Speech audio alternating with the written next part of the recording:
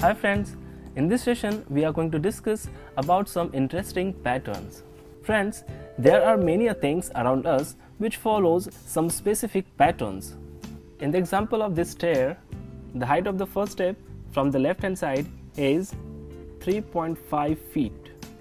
The second step is 3 feet, third step is 2.5 feet and the last step is 2 feet.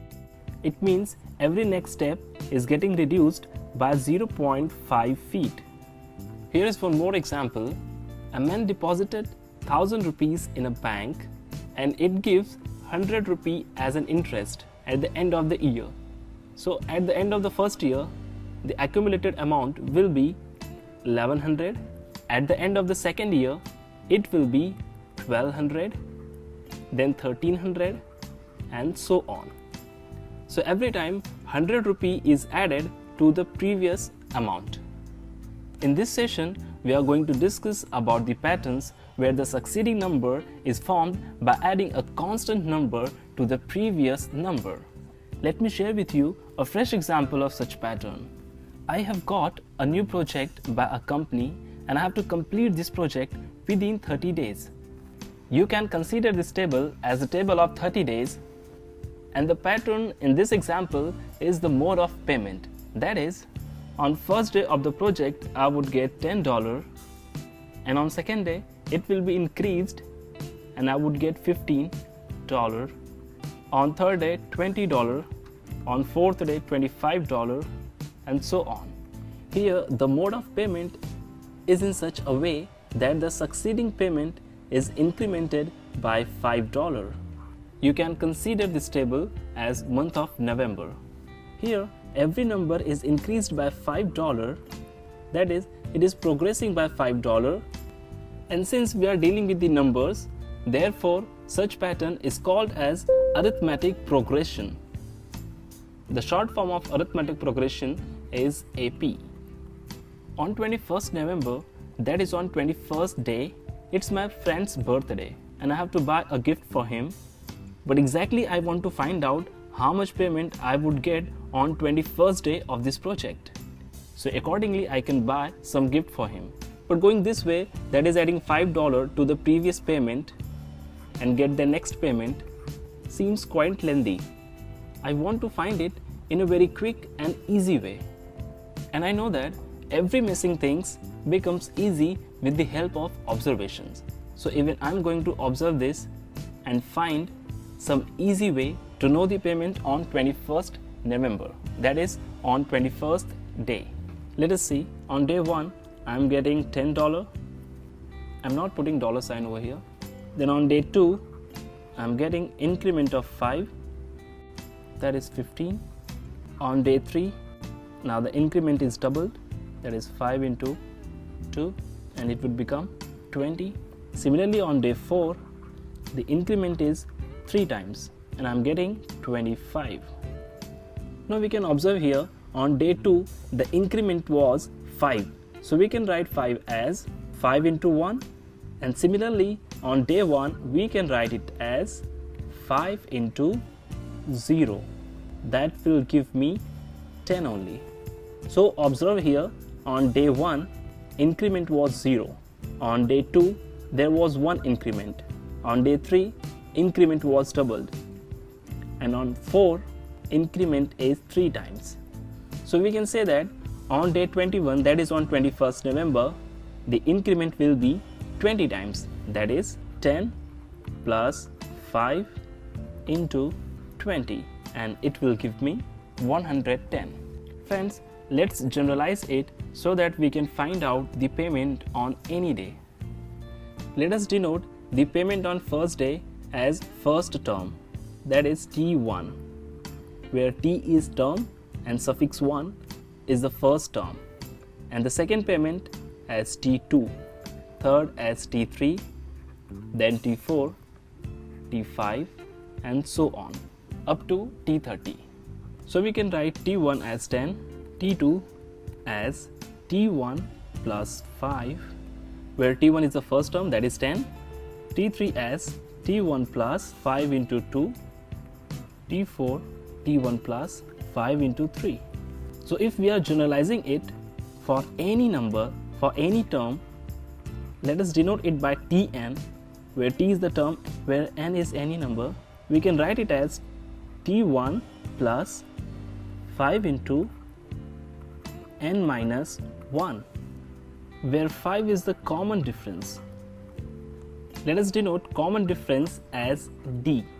Now we can write general expression as Tn equals T1 plus n minus 1 into D, where T1 is the first term, n is the number of terms, and D is the common difference between any two numbers.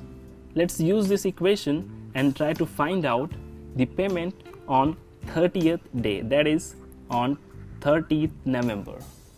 So by using this formula, we will write T30 instead of n we'll write 30 and T1 plus now your n is 30 minus 1 into the common difference d.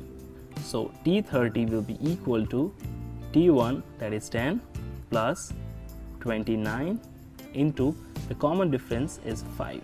So the payment on 30th November will be 155. So on 30th day, that is on 30 November, I will get $155. Here we have got the general expression for any kind of arithmetic progression. By using this expression, we can find out any term of that progression.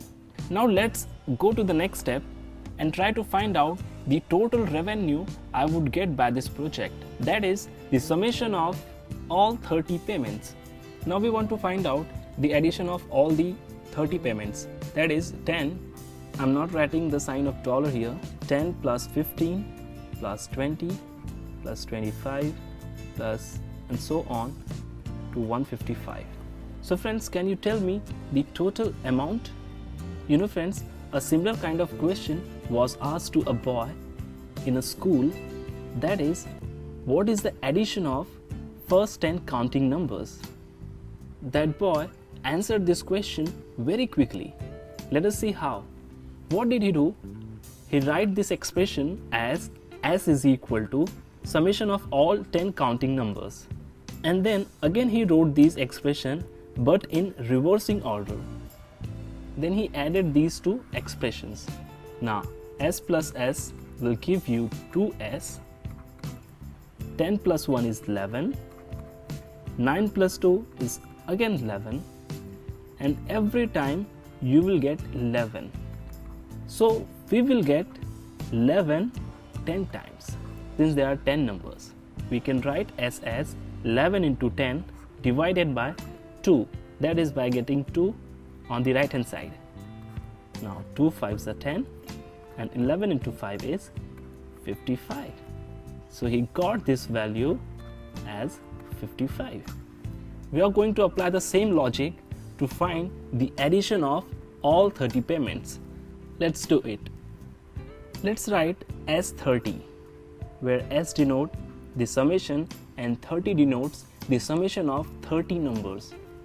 Now we can write it as S30 in reversing order that is 155 plus 150 plus and so on 20 plus 15 plus 10 let's add them. We'll get 2 times s30 and the addition of 155 plus 10 is 165 again 150 plus 15 will give us 165 so we'll get 165 how many times? So we can write 2 into S30 equals 165 into 30 and next step will give us 165 into 30 divided by 2. So by cancelling out we will get 2475. It means the total revenue by this project is $2,475. Now, there will be a question in your mind that can we generalize it also? And the answer is yes, let's do it. Let's try to generalize it. We can also write the last expression as S30 equals now I'm writing 165 as 10 plus 155 you can also write it as 155 plus 10 into 30 divided by 2 where 10 is the first term and 155 is the last term that is t30 divided by 2 into 30 so we will write Sn is equal to first term that is T1 plus Tn that is the last term divided by 2 into the total number of terms.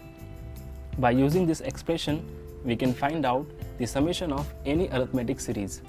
We will not stop here because we can generalize it further. We know that Tn is equal to T1 plus n minus 1 into D. So instead of Tn in this expression, we can write t1 plus n minus 1 into d. And we will get Sn is equal to t1 plus again t1 plus n minus 1 into d. Let's take 2 out of the box into n by 2 so the final expression will become t1 plus t1 that is 2 times t1 plus n is the number of terms minus 1 into d that is the common difference into the total number of terms divided by 2. So if we have to find out the nth term of any arithmetic progression then we will use this formula and if we have to find out the summation of all the terms then we can use one of these two formula. Both will give you the same answer. If you are using this formula, first of all you will have to find out the value of Tn, then you can go further, where in this case you can directly use the formula if you know the first term that is t1, number of terms and the common difference that is d. So use this formula to find the nth term of an arithmetic progression and you can use any of these two formula to calculate the summation of n terms. Let's have a recap of this session